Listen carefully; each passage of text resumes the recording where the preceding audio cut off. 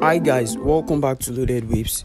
And today we have a very interesting story we have to share with you guys because some people um, won't like to read news online, but they prefer to listen to audio or just watch videos. So we had to just drop this one for you, and we this we will, we will keep doing this. So to encourage people to um, just read our read online and also visit our website.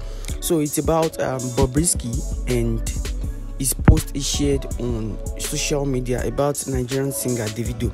So, Nigerian cross-dresser and social media influencer Okuneye Idris Olanrewaju, known as Bobrisky, shared some heart-melting words about Nigerian singer Davido, expressing his feelings for the singer.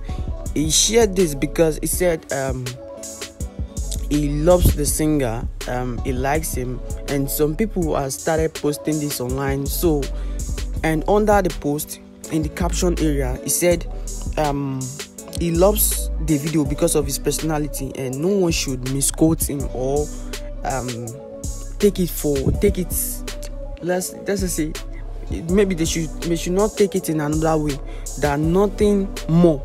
Just he, he, he loves only his personality.